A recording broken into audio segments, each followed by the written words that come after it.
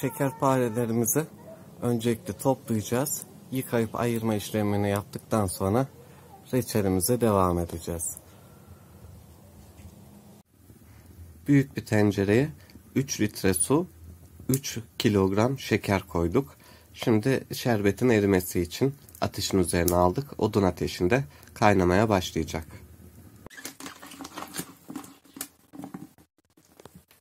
Kayısılar yıkandı, süzüldü. Şimdi kaynayan şerbetin içine atılıyor.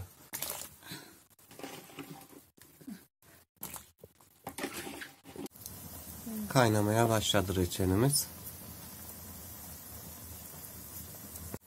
Yaklaşık bir saattir kaynamaya devam ediyor. 2 çay kaşığı limon tuzu ilave ettik ve beklemeye devam ediyoruz.